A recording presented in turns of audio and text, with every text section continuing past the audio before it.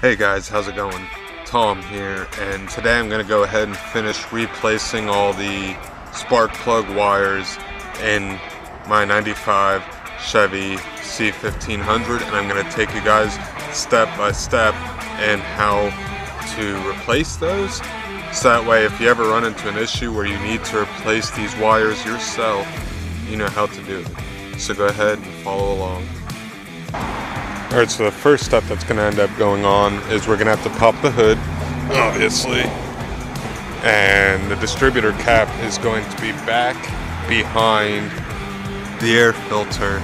So in order to get to that, we're going to have to go ahead and remove that air filter and get it out of the way.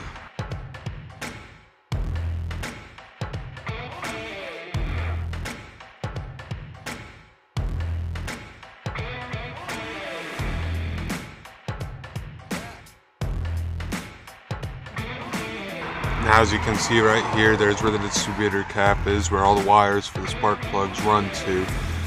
Now the thing is, the best practice is to remove them one at a time and replace them one at a time because each engine has its own firing sequence and if you mess up that firing sequence, it can cause issues with your engine and with the truck actually running and being able to run properly. So it's best to replace the wires one at a time to make sure they're all wired up appropriately. And the first wire that I'm going to be replacing is going to be this one right here. So what I'll end up doing is I'm going to pull it off just like that. I'm going to figure out which spark plug it runs to.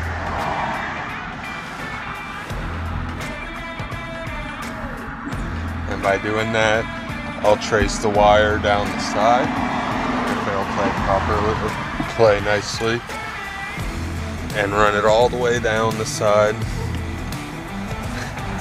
to here.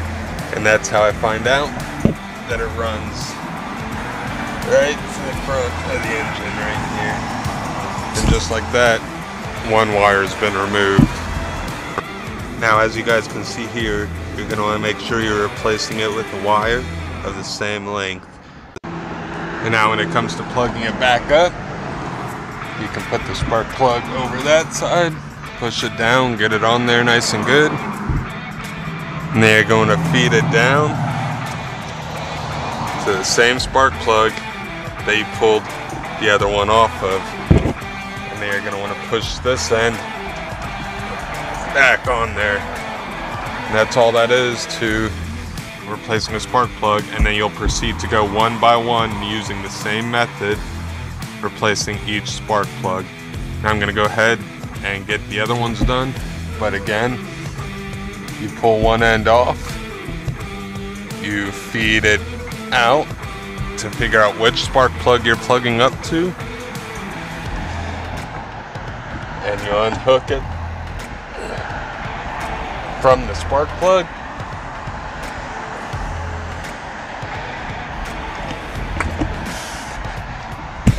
and then you find one of a, the same length and then you put the new one back in there. Alright guys, so as you can see I went ahead and I rewired the rest of the spark plugs. And this is where we're going to get to see if and how the truck ends up running. And then there's all my old spark plugs that I went ahead and, or spark plug wires that I pulled out of the truck. And then, uh, silly me, almost forgot one other thing that we got to do before we go ahead and try and start the truck.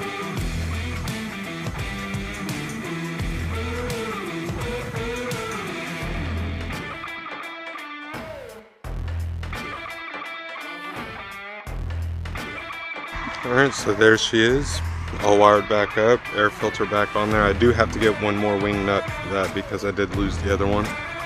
Um, but now it's time to start her up and see how she sounds. So I am sitting in the truck now, putting my keys in. Let's see how this goes. As you can see, everything's running appropriately and working in the way that it should.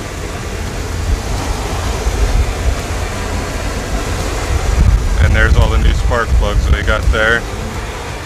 So yeah, 1995 Chevy spark plug wiring replacement. It's a step-by-step -step on how you get it done. Don't forget to subscribe, like, and share. Um, I am working on my Chevy over time, so there will be more how-to videos like this in the future. Um, feel free to subscribe, like, and share the video. And as always, enjoy life. Take it a day at a time. And I'll catch you all next time.